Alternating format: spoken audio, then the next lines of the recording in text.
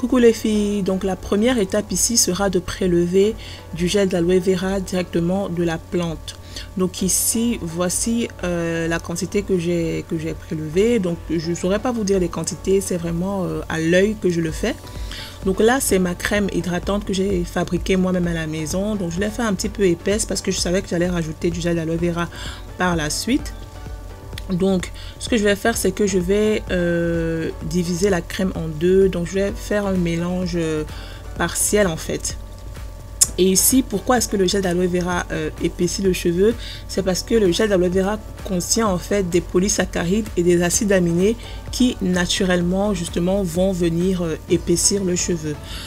en plus de l'hydrater et, de, et, de, le nourrir en profondeur. Donc l'aloe vera définitivement c'est un must pour ma routine euh, capillaire.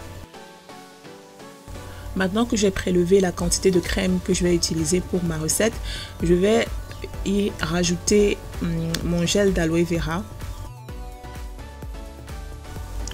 Donc maintenant, je vais me servir d'un batteur électrique pour euh, bien mélanger euh, les, deux, les deux ingrédients afin d'avoir quelque chose de beaucoup plus homogène.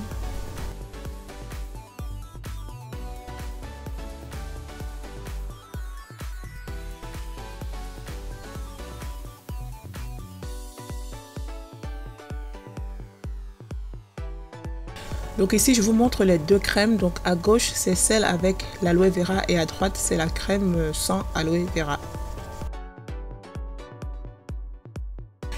Donc la deuxième étape sera de confectionner euh, son huile pour sceller l'hydratation. Alors ici, l'huile principale à avoir, c'est l'huile de ricin. Donc vu que l'huile de ricin est assez épaisse, je vais la couper avec une huile plus légère, à savoir l'huile de pépin de raisin. Donc on sait déjà que l'huile de ricin euh, favorise la pousse du cheveu, mais elle permet aussi d'épaissir le cheveu. Donc on peut très bien la mettre sur la longueur des cheveux, mais vu qu'elle est très lourde, euh, l'idéal c'est de la couper avec une huile plus légère afin d'avoir euh, une huile à fluidité moyenne, on va dire. Donc voilà, j'ai mélangé les deux huiles. Là, je vais agiter pour bien mélanger le tout.